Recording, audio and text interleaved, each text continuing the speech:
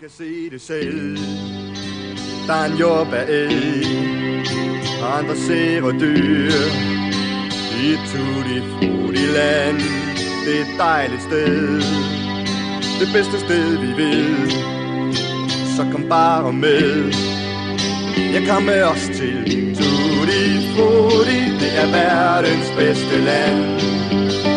Tutti Frutti, jeg kom med os, hvis du kan. Tutti, Tutti Frutti land. Neden for kokosnødbakkerne ved den sumpede mangomose boede mangokoen, og hun havde de største horn i Tutti Fruttiland. Hendes horn var så store, at hun kunne klø Inge Ingefær på næsen. Hendes horn var så store, at de andre dyr hængte tøj til tørre på dem. Men mangokoen havde ikke alene de største horn i Tutti Fruttiland. Hun var også fuld af gale streger. Hun elskede at lave numre med sine venner. Hun var så fuld af gale streger, at hun smed appelsiner i hovedet på bananbørge. Hun var så fuld af gale streger, at hun stangede blåbærnelli med sine horn. Hun var faktisk så fuld af gale streger, at de andre dyr som regel stak af, når de fik øje på hende. Men mangokonen havde et yndlingsnummer. Det bedste hun vidste var at sætte i et Det fik hårene til at rejse sig på hovedet af mandarinmax. Buh! Det fik jordbærelgens gevir til at dreje rundt.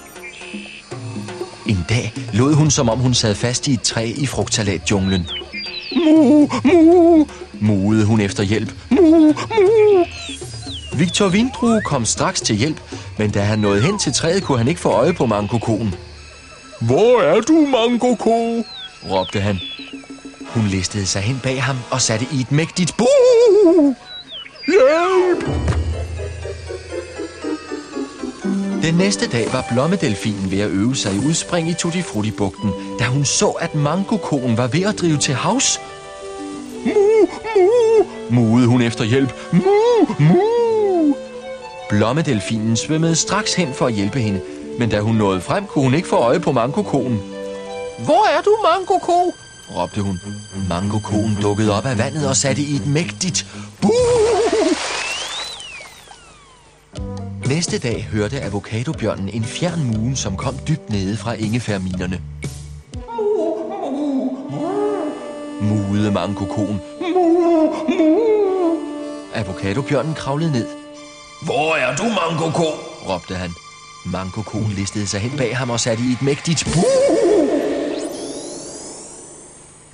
De andre dyr var godt trætte af mangokoen og hendes bue.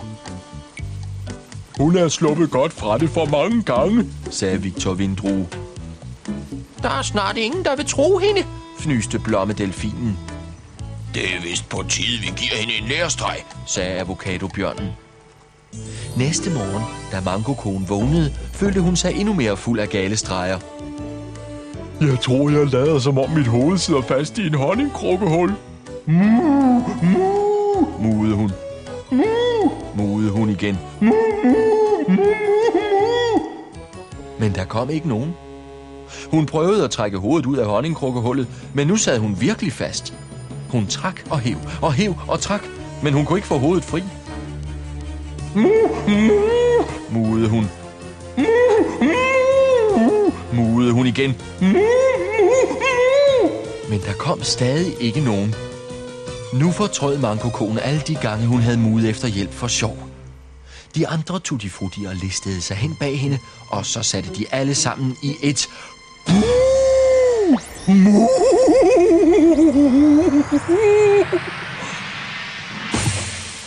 Mangokonen blev så forskrækket, at hun lovede dem alle sammen, at hun aldrig mere ville sige bu igen. Men det forhindrede hende jo ikke i at sige mu. Jeg kom med os til Tutti Frutti, det er verdens bedste land. Tutti Frutti, jeg kom med os, hvis du kan. Til Tutti Tutti, Frutti land.